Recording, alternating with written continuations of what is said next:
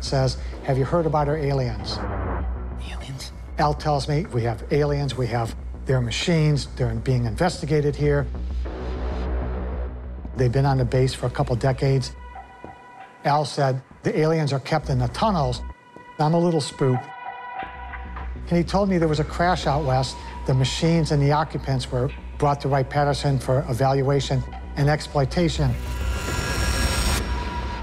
And I'm thinking, why would he be telling me this?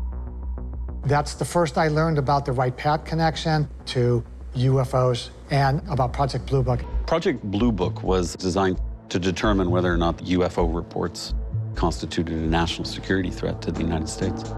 Since 1947, we have received and analyzed between one and 2,000 reports.